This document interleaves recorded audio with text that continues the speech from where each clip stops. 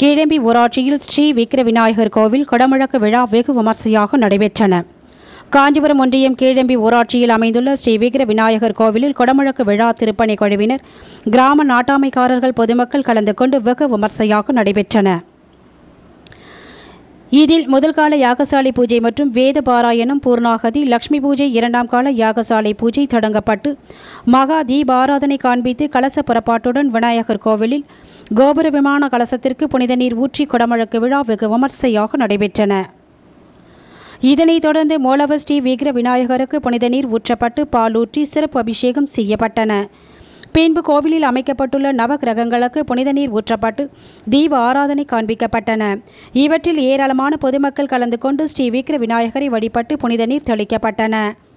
மேலும் ஸ்ரீ விக்ர விநாயகருக்கு மக அபிஷேகம் செய்து திவ்ய அலங்காரத்தில் பக்தர்களுக்கு காட்சியளித்தார். இதில் சுற்றுவட்டார பகுதியிலிருந்து வருகை புரிந்த பொதுமக்கள் விநாயகரை வழிபட்டு அருள் பெற்றனர். மேலும் குடமழக்கு விழாவில் கலந்து கொண்ட பக்தர்கள் பொதுமக்களுக்கு அன்னதானம் வழங்கப்பட்டன.